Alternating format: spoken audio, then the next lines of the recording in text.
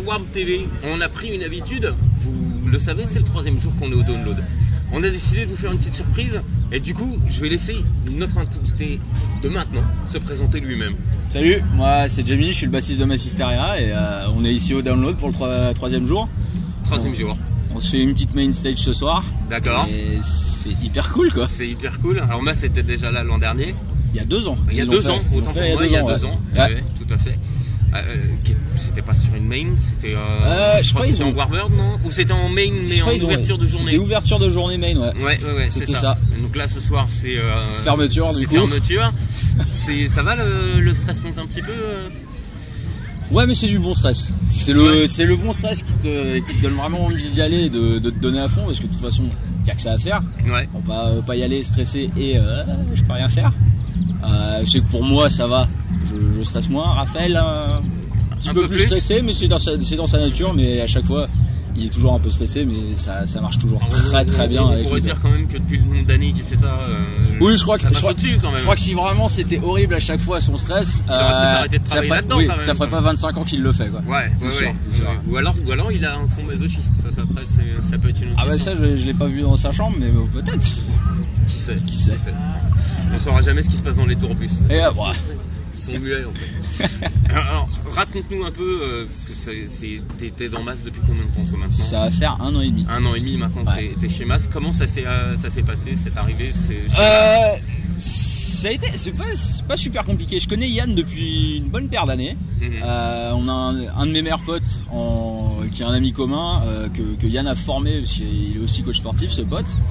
Euh, et le jour où Thomas a, dit qu'il qu'il arrêtait, parce qu'en fait il devait que faire, il était un peu en intérim à l'origine. Ouais. Euh, et qu'il a dit bah les gars faudrait quand même trouver quelqu'un. Euh, Yann cherchait et a appelé ses- cet ami qui s'appelle Thierry euh, en lui disant mec bah ça y est Thomas s'en va.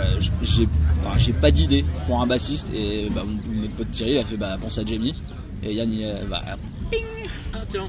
et du coup je l'ai appelé. Il m'a dit mec tu veux faire la Bah, bien sûr Alors, pas rater ça quoi merde, Mass. ah bah ouais, c'est une occasion en or hein. Tu- bah personne oui, personne cracherait là-dessus quoi Toi, tu, tu viens musicalement d'où? Alors d'où? Euh, j'ai donc je suis guitariste à l'origine je, je fais Comme la- souvent les bassistes. Ouais, bah, euh, oui, oui, bah, c'est souvent le cas, hein, il y en a beaucoup moins. Euh, j'ai commencé la guitare à 13 ans, donc ça fait 17 ans que je fais de la guitare. J'ai été dans des groupes divers et variés. Été dans un groupe de post-hardcore qui s'appelait Admiral's Arms. Euh, j'ai fait la basse dans Guerilla Poubelle, le groupe de punk français. Mhm.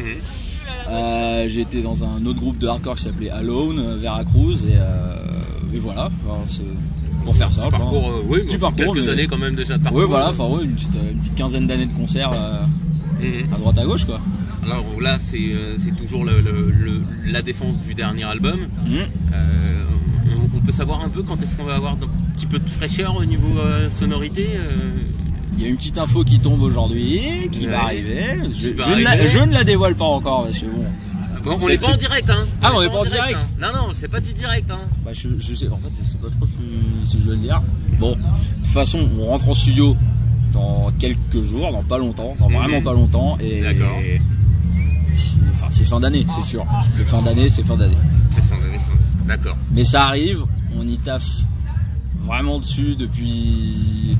Ça doit faire 8 mois qu'on a les morceaux, qu'on les travaille. D'accord. Et euh, on arrive à quelque chose de quand même euh, sacrément bien lourd. Donc c'est parti pour, euh, pour, c'est- le- pour la mise en boîte. C'est parti pour la mise en boîte et c'est parti pour retourner et en, remettre une couche euh, sans problème.